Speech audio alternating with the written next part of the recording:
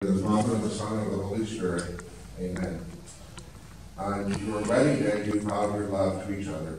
Today, you stand before the altar in your family in striking testimony of what God's grace conferred in matrimony can accomplish in a husband and wife who carefully guard and use the divine treasure that is in them. The world today has great need of the living servants which your example of fidelity and love shows forth.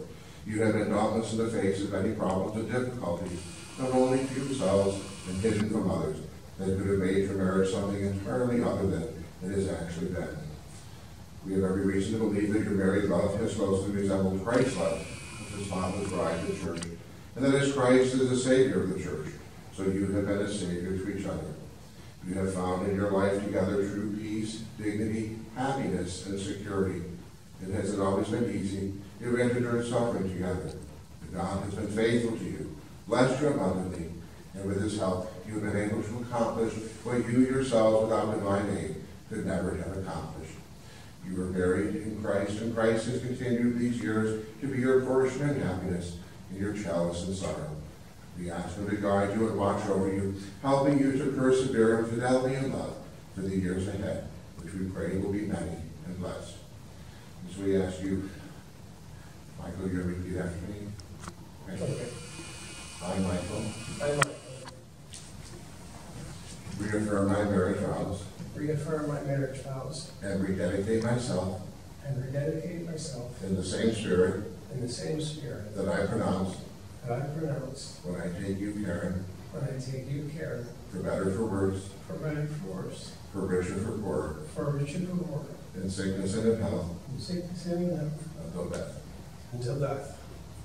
I, Karen, I, Karen, reaffirm my marriage vows. Reaffirm my marriage vows. And rededicate myself. And rededicate myself. In the same spirit in the same spirit that I pronounced that I pronounced when I took you, Michael, when I took you, Michael, for better, for worse, for better, for worse, in sickness and in health, in sickness and in health, for richer, for poorer, for richer, for poorer, until death.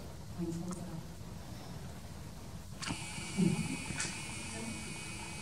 Lord, bless and consecrate Michael and Karen in their love for each other.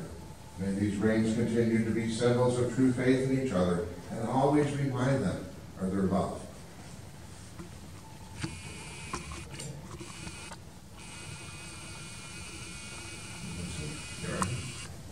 Karen, take this ring. Take this ring. As a sign.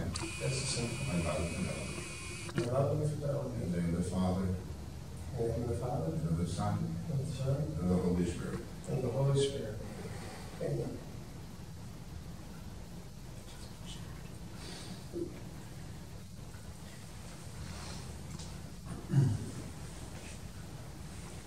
Michael, take this ring Michael, take this ring as a sign as a sign of my love and fidelity. of my love and In the name of the Father, In the name of the Father, and of the Son, and of the Son, and of the Holy and Spirit. of the Holy Spirit. Amen. Amen.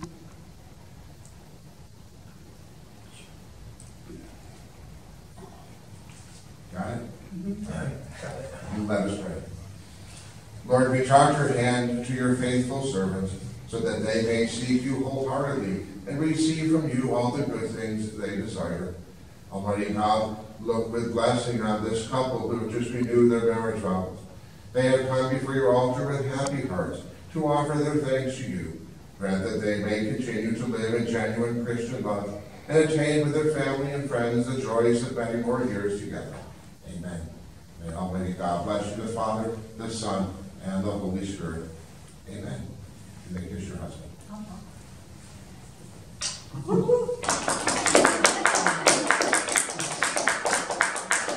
Congratulations. Thank you. Thank you so much. Thank you.